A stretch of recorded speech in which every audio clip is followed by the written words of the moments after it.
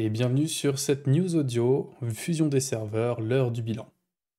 Les fusions des serveurs sont désormais terminées. Il est temps de faire le bilan de cet événement et de vous offrir un cadeau. Talcacha ouvre le bal. La première fusion concerna les communautés ES, PTBR et internationales des serveurs Hacham, Rubilax, Rocabulia et Echo. Nous avons rencontré une première difficulté, comme nous vous le communiquons, quelques jours après la fusion. Ces serveurs possédaient des restrictions de communauté et nous nous sommes aperçus que ce système très ancien générait d'importants problèmes d'accès sur le nouveau serveur Talcacha. Après avoir évalué la situation, nous avons pris la décision de pousser notre, logique initiale, mettre fin aux particularités et aux exceptions. Ainsi, lors de la maintenance du mardi 29 novembre, nous supprimerons toutes les restrictions d'accès liées aux communautés de comptes. Tous les serveurs seront ouverts à toutes les communautés, nous garderons toutefois une notion de communauté recommandée. Orukam, Imagiro, Elmina et Tilesa seront des serveurs recommandés par défaut aux joueurs francophones. Talcacha sera recommandé par défaut à tous les joueurs en dehors de la communauté francophone. Draconiros et Ombre seront des serveurs mondiaux recommandés pour tous. Des canaux communautaires seront activés sur l'ensemble des serveurs qui n'en possèdent pas déjà. À ce sujet, nous avons rencontré un problème technique sur la gestion des canaux communautaires sur Talcacha. Un correctif a pu être élaboré et sera déployé lors de la maintenance du mardi 22 novembre. Enfin, le service de transfert de personnages d'un serveur à un autre sera de nouveau disponible ce mercredi 23 novembre également. Les transferts seront effectués lors de la maintenance du mardi suivant, soit le 29 novembre. Il sera donc possible pour les joueurs de migrer vers n'importe quel serveur classique, quelle que soit leur communauté mais il ne sera toujours pas possible de migrer vers les serveurs monocompte Draconiros ou Epic Ombre.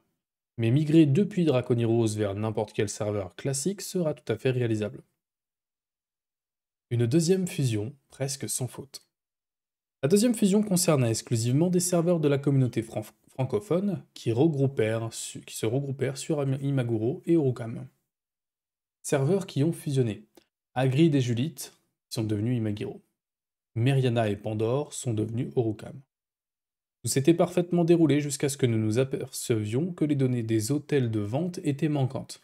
Cela a nécessité de recommencer une bonne partie du processus de fusion, retardant ainsi l'ouverture des deux nouveaux serveurs.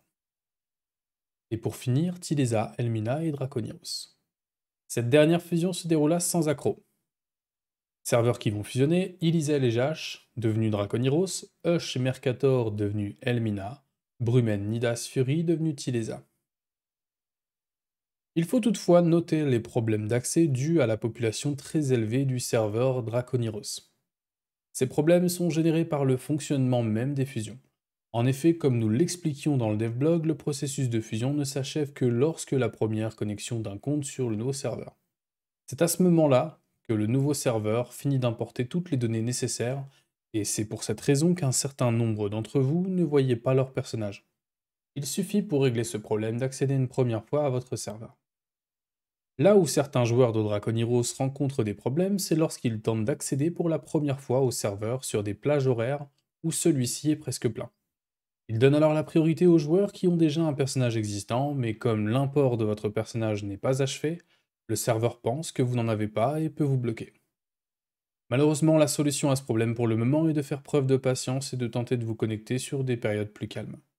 Nous avons toutefois relevé la limite d'accès au serveur Draconiros pour tenter de fluidifier les connexions. La situation devrait rentrer dans l'ordre progressivement.